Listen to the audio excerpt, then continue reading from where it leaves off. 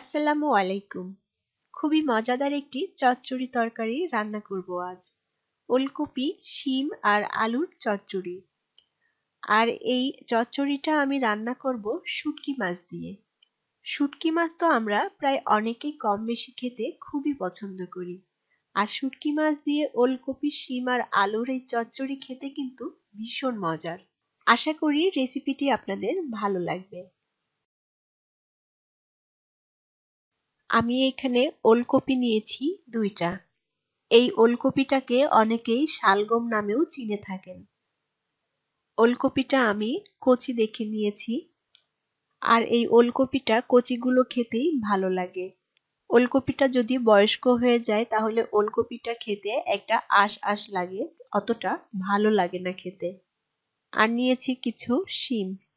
ছোট সাইজের তিনটা আলু নিয়েছি। আর এখানে আমি কিছু মলা মাছের শুটকি নিয়েছি। এখন ওলকপি, শিম আর আলুটাকে আমি কেটে ধুয়ে পরিষ্কার করে নিব। কড়াইতে পরিমাণ মতো তেল দিয়ে দিলাম। এখন তেলের মধ্যে দিয়ে দিব হাফ চা চামচ আস্ত জিরা। আর দিয়ে দিব পেঁয়াজ কুচি। আমি এখানে মাঝারি সাইজে দুইটা পেঁয়াজ কুচি নিয়েছি। এখন জিরা আর পেঁয়াজ কুচিটা ভেজে নিব। পেঁয়াজটা খুব বেশি ভাজবো না, হালকা লাল করে ভেজে নিব।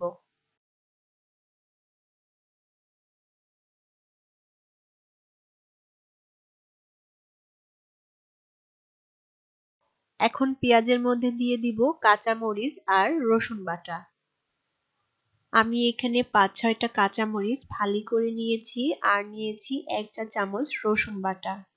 সবকিছু এখন ভালো করে নেড়ে দুই মিনিট ভেজে নিব। এতে করে পেঁয়াজ, মরিচ আর রসুনের কাঁচা গন্ধটা চলে যাবে। এখন দিয়ে দিব সামান্য পরিমাণ পানি যাতে করে নিচ থেকে পুড়ে না যায়। দিয়ে দিব হাফ চা চামচ শুকনা মরিচ গুঁড়া, এক চা চামচ ধনিয়া গুঁড়া আর দিব এক চা চামচ হলুদ গুঁড়া আর স্বাদ মতো লবণ। এখন মশলাটাকে ভালো করে নেড়ে চেড়ে মিশিয়ে দিব।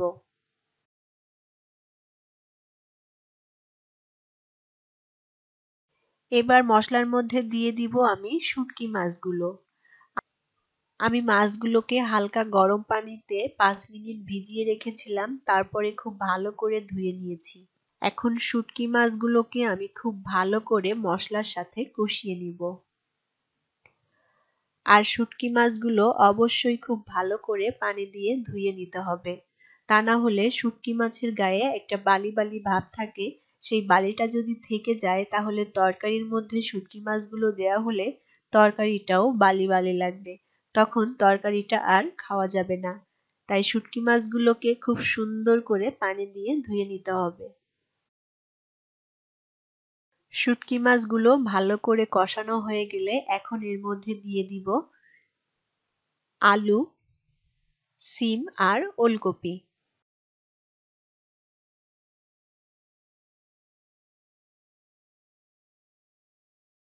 আমি আলু শিম আর ওলকপিগুলোকে এইভাবে লম্বা চিকন চিকন করে কেটে নিয়েছি। এখন তরকারিটা খুব ভালো করে নেড়ে দিতে হবে। যাতে করে মশলা এবং মাছগুলো তরকারির সাথে খুব ভালো করে মিশে যায়।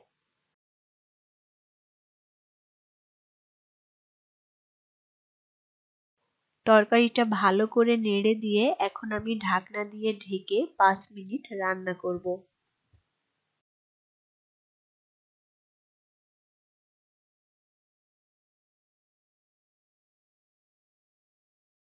পাঁচ মিনিট পর ঢাকনা খুলে তরকারিটা খুব ভালো করে নেড়ে চেড়ে দিব।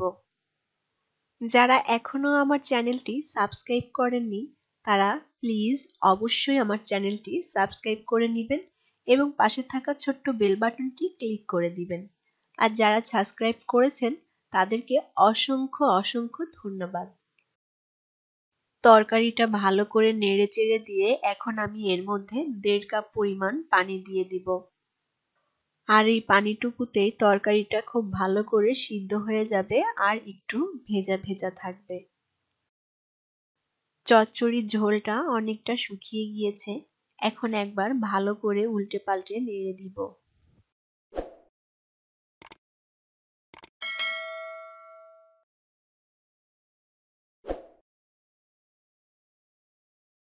এখন এর মধ্যে দিয়ে দিব কিছু ধনিয়া পাতা কুচি।